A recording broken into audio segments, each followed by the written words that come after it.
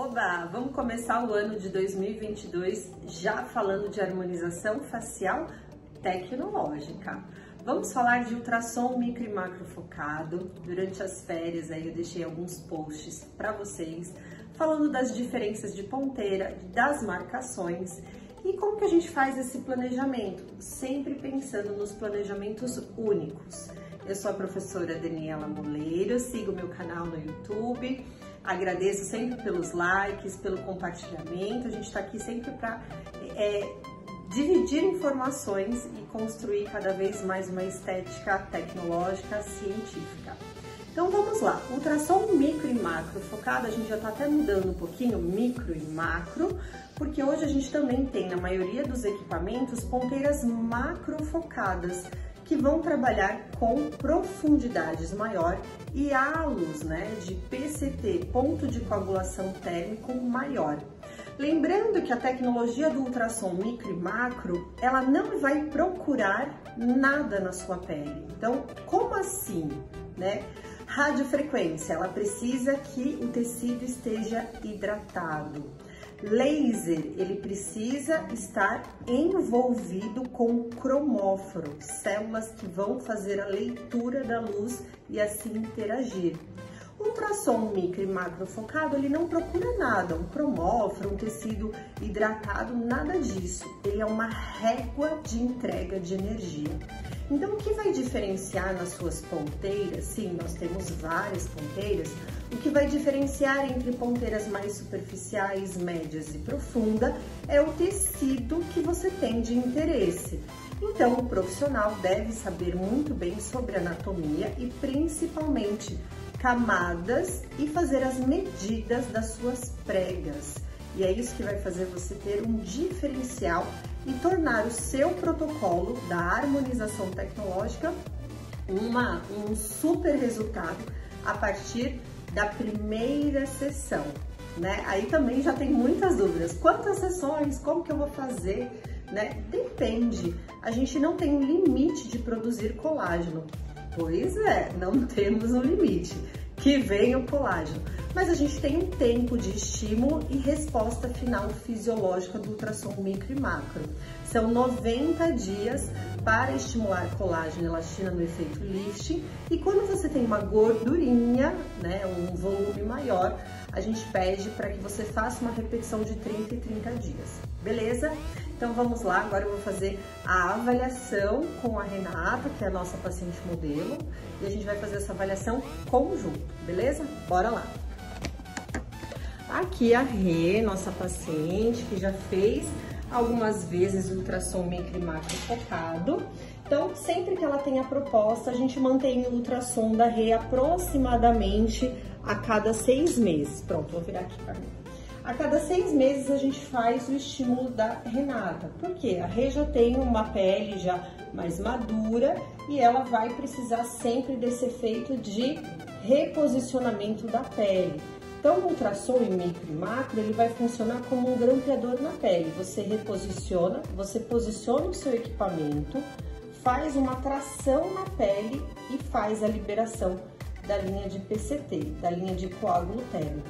Então a ideia não é só é, grampear a pele, mas direcionar para onde você quer. Por isso que nas técnicas avançadas que a gente ensina nos nossos cursos, a gente tanto faz para cima, como também no sentido dos tiger points, tá? Linhas de tensão da pele, que são esses tigers aqui. Então a gente envelhece normalmente para baixo, para dentro, onde a gente faz o naso, tá vendo? a ruguinha do naso. Então, para rejuvenescimento, a gente faz tudo para cima, para cima e para o lado, superior e tiger points. Também para a linha de pescoço, então a gente vai fazer toda essa região da, do pescoço para cima. E da papada, quando a gente faz esse estímulo para cima, tá vendo que ele faz um papo duplo? Então aqui a gente segue a mesma estratégia do ultrassom, né? como se ele fosse com efeito lipo de papada. Então a gente vai fazer, tá vendo? Ó, a lipo de papada, a gente entra aqui e vai fazendo essa, é, essa aplicação. Então a gente vai aplicar o ultrassom, essa direção, né? Esse movimento. Então, ultrassom para pescoço, a gente vai fazer esse grampeamento aqui, ó.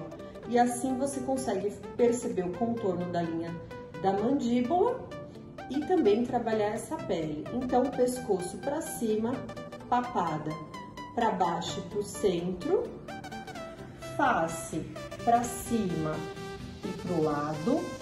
Na região do malar, zigoma e arco, que é esse, essa linha do C1, C2 C3, né, do MD Codes, dos pontos de harmonização da, da face, a gente não aplica ultrassom, porque a gente quer, na verdade, esse lifting aqui, que com o passar do tempo e a frouxidão do SMAS, a gente vai tendo esse movimento aqui para baixo, que vai formar o JAWS, que é esse pontinho aqui, ó.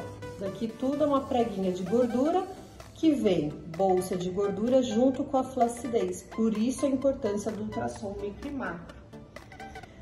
Região dos olhos, bolsa de gordurinha dos olhos, lateral levantamento e também seguida de tiger points. Para frontal, faz cara de brava, Rê. Tá vendo? Olha, o frontal da Rê. Então aqui a gente tem a junção de três principais músculos que fazem essa nossa cara de brava. Ou para quem usa muito óculos e força muito a vista, você tá vendo como a gente tem o corrugador, o prócero e todo o frontal pesadinho aqui. Então, como ela tem essa marca mais forte e ela tem prega, ela me libera fazer aplicações de ultrassom aqui. Nunca vai ser a mesma ponteira que você vai trabalhar profundidades de terço inferior, mas aqui você pode trabalhar uma profundidade mais superior, a ponteira 1.5, mais superior. Olha como é importante você fazer o lifting da região dos olhos da Renata, tá? Olha só, vou fazer de novo. Tá vendo? Ó, pode olhar lá. Tá vendo como ela vai fazer esse levantamento e assim ela vai sentir a região do, dos olhos dela não com o peso da região da sobrancelha. Então você vai fazer levantamento da sobrancelha, mas se você não harmonizar esse frontal dela aqui, ó, ela vai ficar muita cara de malévola. Então você vai levantar e subir para cá. Então trazendo harmonização e suavidade. Então lifting, lifting, lifting. Beleza? Nariz da reta, ok, não precisa fazer o empinamento, já é o nariz tratado. E se nós formos trabalhar o planejamento de lábios da Renata, a gente pode fazer o lifting, que é uma técnica que inclusive a gente utiliza bastante na ROF, que é o lip lifting. O lip lifting é essa distensão que você tem da, da parte cedida dos seus lábios, que você vai trabalhar a remoção, ó, e os lábios já vai fazendo uma inversão. Então a gente consegue fazer essa retração sem o lip lifting, sem a técnica cirúrgica, com ultrassom micro e macro focado. Então a gente trabalha todas as ponteiras na face. Agora eu vou fazer a marcação com vocês, peço que vocês me acompanhem. Então bora lá, a gente vai começar com uma marcação, tá? Não é uma marcação padrão, já é uma marcação da técnica avançada que a gente ensina no método TTR e também nos nossos cursos de hands-on, tá? Então, o que, que é importante você saber? Lembra que eu falei que o ultrassom não procura nenhuma prega, tá? Ele não procura nenhum tecido, então você tem que fazer o cálculo de pregas para você saber o que vai ser aplicado. Então, lá, a primeira prega que a gente faz é da região de papada. Então, a gente vai virar o paciente, vai pedir para ele abaixar um pouquinho a cabeça, Ó lá, a papadinha já saltou, tá bem? E aí você vai fazer a sua prega com o adipômetro. Sim, todo equipamento de ultrassom micro e macro focado, ele vai seguir com um adipômetro. Então, o adipômetro você sempre vai direcionar uma seta a outra e vai fazer a prega. A prega da papada da Renata deu 10 milímetros de mercúrio. Então, se a gente está calculando a prega no pinçamento, na hora da aplicação, a gente vai aplicar ele assim, ó. e não assim. Então, se a gente tá pensando assim, a gente vai considerar 50% dessa prega para você fazer a aplicação. Então, se a sua prega deu 10 milímetros, a sua ponteira de aplicação da região de papada vai ser 50% da sua prega, porque você vai aplicar ela assim. Então, aqui vai ser uma profundidade de 5 milímetros. Então, é a ponteira 4.5, tá? Então, aqui nessa papada não precisa de uma ponteira macrofocada de 7, 8, 6, depende da sua marca, do seu equipamento. A outra região que a gente precisa saber é se ela tem prega, é a região do terço inferior da face, tá? Então, ó lá, muita gente tem a queixa de, traba de trabalho dessa região aqui, ó. Tá vendo toda essa prega aqui, ó, se movimentando? Essa é o que a gente chama de jaws, tá? Essa gordurinha que a gente não gosta, porque quando a gente era jovenzinha, ela tava aqui, ó, em cima. Então, a gente precisa fazer esse reposicionamento para cima. Beleza, então, para fazer essa gordurinha, a gente precisa calcular para saber qual é a ponteira que você vai utilizar. Ah, então quer dizer que eu não preciso seguir sempre o mesmo padrão, 4,5, 3 e 1,5? Não, porque a gente tem inclusive relatos de pacientes que sentem um emagrecimento excessivo pós ultrassom micro e macro focado. Então imagina o seguinte, se a Renata já tivesse um rosto mais magrinho, sem coxins de gordura, e nós aplicássemos ponteiras sobre ponteiras mais profundas, a gente vai tirar o pouco de gordura de sustentação que ela tem. E assim você pode promover um emagrecimento que você não deseja.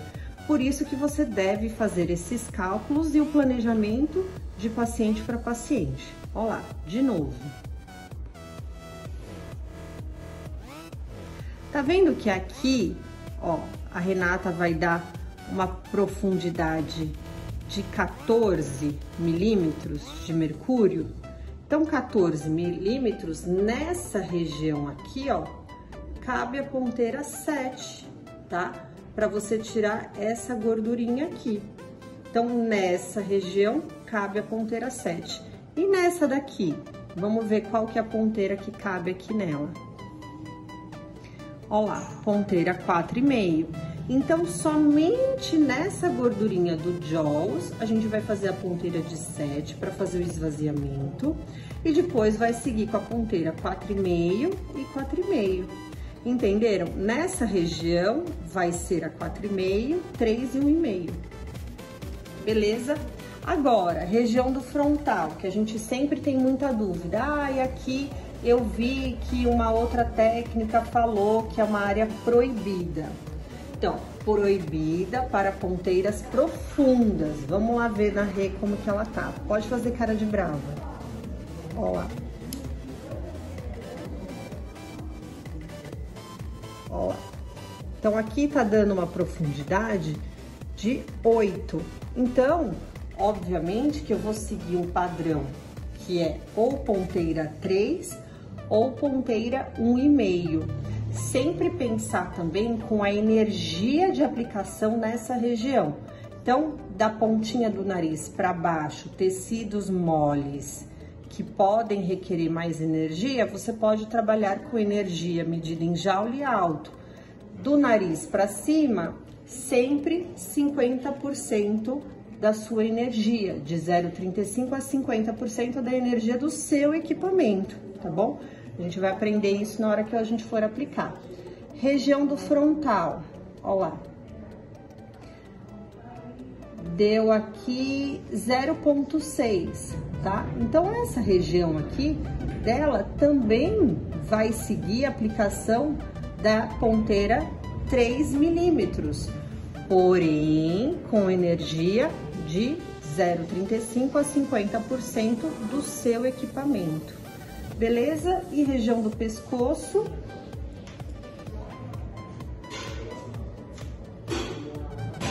Ó lá, 0,9, ponteira de 4,5, tá? Então, o seu adipômetro serve exatamente para isso. Agora, vamos à marcação. Marcação, sempre trabalhe com duas cores, tá? Aqui eu vou trabalhar com a verde e o lápis branco. Por que duas cores? Porque em primeiro lugar você vai, vai desenhar as áreas onde você tem uma limitação, onde você tem que ter atenção ou áreas de no-go, áreas de não aplicação. Quais são as áreas de não aplicação? Região de tireoide, então você vai pedir para o seu paciente engolir, Olha lá, e você vai sentir o anel clicoide dele. Pode engolir. Isso, olha lá, o anel clicoide. Então, você vai fazer, você vai contornar o anel clicoide dele e vai pôr um X, ó lá, área de não aplicação, área de no go, ok? Já contorna também toda a região de traqueia do seu paciente. Se você aplicar nessa região, ele vai sentir um desconforto, ele vai dar uma tossidinha assim, ó, na hora que você aplicar, tá bom? Então, olha lá, essa é uma área de não aplicação. Depois, uma outra área onde a gente vai evitar, que é uma contraindicação absoluta depois da tireoide, é a região do globo ocular. Globo ocular não pode aplicar. Mas tem gente que aplica? Não, a maioria dos profissionais não querem aplicar no, no globo. Mas na hora que for aplicar aqui, ó, paciente às vezes toma um susto porque não está esperando e a sua ponteira cai para os olhos e faz aplicação nessa região, tá bom? Lateral da boca. Por que a lateral da boca? É uma área que a gente já coloca de não aplicação de ponteiras profundas. Em algumas literaturas também a base da asa nasal, tá bom? apesar de eu achar quase impossível você conseguir acoplar uma ponteira aqui, tá bom? Porque essa é uma área de mímica, sorri. Olha lá, tá vendo? É uma área de mímica. Qual é o nervo que passa aqui, ó? O nervo marginal da mandíbula. Pode soltar. Nervo marginal da mandíbula. Então, você vai fazer a marcação e pede para o seu paciente sorrir na hora que ele sorrir, você já vai ter exatamente o traço. Tem muita gente que o nervo marginal vai inserir nessa base aqui. Tem gente que insere mais para cá, mais para cá. Então, para você evitar aquele efeito sorriso torto do ultrassom, você vai desenhar uma linha ó, em todo o contorno da sua mandíbula, onde você não vai aplicar, tá bom? Então, nessa região aqui inferior, você não vai aplicar na região da base óssea, não aplica, tá bom? Por quê? Porque o seu nervo pode inserir aqui, aqui, aqui, aqui, não sabemos. A gente tem aí alguns desvios anatômicos de paciente para paciente, beleza? Então, essas são as marcações principais e 50% para cima, energia de 0,35 a 50%, do nariz para baixo, energia alta. Posso trabalhar em 100% do seu equipamento? Pode, se o seu paciente suportar, se estiver tudo bem confortável, pode mandar bala, não tem problema. Ok? Lembrando que quanto maior a sua energia, mais intercorrência. Gel de contato e acoplamento sempre com bastante qualidade. Outro ponto que a gente observa, tá bom? é que nessa região aqui a gente vai evitar as ponteiras de 0,45, 0,45, 0,30 milímetros, mas a gente pode aplicar a ponteira mais superficial, a 0,15 milímetros de superfície, porque ela não vai atingir a inervação nem da, nem da borda no marginal da mandíbula, como também as outras inervações da mímica. O que pode acontecer? Quando você aplicar ponteiras profundas nessa região, você pode inflamar o nervo e dar desvio do sorriso. Se isso aconteceu, vai lá no vídeo do YouTube, fiz ultrassom microfocado e fiquei com a boca torta e veja como você pode tratar esse seu paciente. Beleza? Bem, já marcou as áreas de não go, de no go, então agora você vai trabalhar as áreas de marcação do ultrassom. Vamos começar pelo pescoço. abaixa um pouquinho o pescoço, contorna a mandíbula do seu paciente. Beleza? Contornou a mandíbula, ó lá, contornou, desculpa, a preguinha da papada. Essa região é o que a gente chama de papada, tá? Então, no guia de aplicação do seu ultrassom, é aqui que você vai trabalhar. E essa região é de pescoço, então você vai pegar lá uma régua que você tem, algumas empresas vão te fornecer essa régua, se você não tiver, é exatamente a distância de um ponto a outro do seu cartucho. Olha lá, beleza? Desse lado também.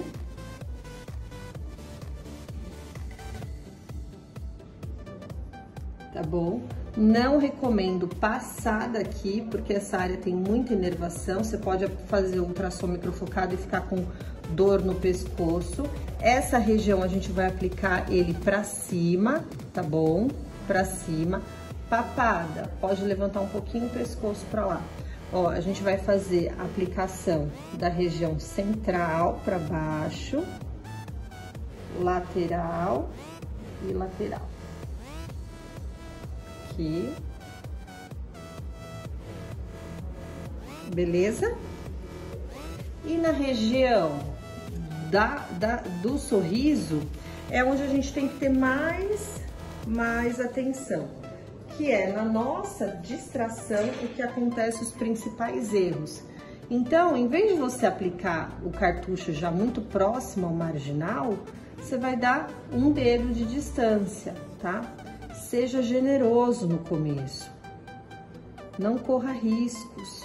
Olha lá. Não precisa de riscos, tá bom? Você pode compensar bastante com atração. Que, que é essa marcação aqui que eu tô fazendo, ó? XXX. Não, não, não. Naso, né? É, malar e zigomático é a área do lifting que a gente quer. Então, lá, pra cima, pra cima, pro lado e pro lado. Tá bom? Então, pra cima, pra cima, pro lado, pro lado. Desse lado. Seja generoso, coloca o dedo do marginal pra cima, pra cima malar, zigoma e arco? Não. Tá bom? Pra cima, pra cima, pro lado, pro lado, tá? Pode ser pro lado, pro lado, pode ser pro lado com ascensão, tá? Isso vai de acordo com a anatomia da face do seu paciente. Região dos olhos, você vai aplicar ponteira superficial e aqui você vai fazer um leque de abertura da região dos olhos, ó. Aplica um, dois, três, quatro, cinco, subindo até o final da ponta caudal da sua sobrancelha. E aqui você vai fazer ele para cima, exatamente os mesmos movimentos que a gente faz para aplicação dos fios de sustentação da face, tá bom? Desse lado a mesma coisa, sorri. Olha lá, tá vendo? Aonde você tem a força da mímica do seu movimento, você vai fazer ele para cima.